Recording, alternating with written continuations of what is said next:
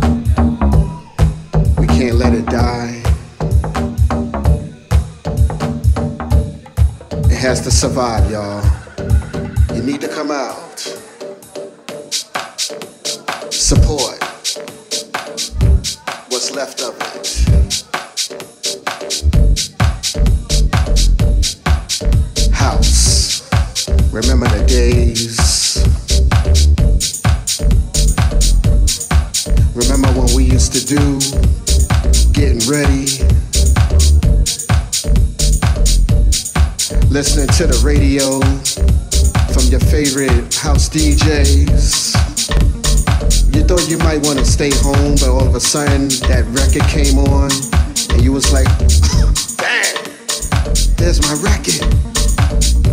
Then they play the next record, then another record.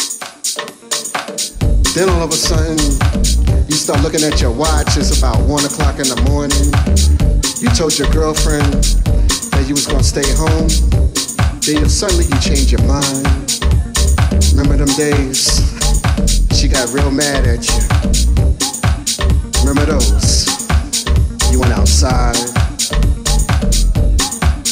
All of a sudden, you want to go out to Seattle, Seattle, New York City. You might have heard somebody like Ruben Toro on the radio. You might have heard somebody like DJ Deep or Frank Rogers.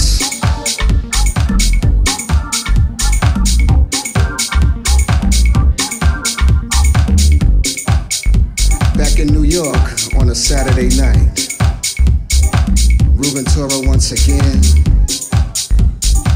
Timmy Regisford. Shout, shout, once again. All of a sudden you got this vibe. Now you wanna go home, get your clothes right, get your t-shirt, your sneakers, your powder.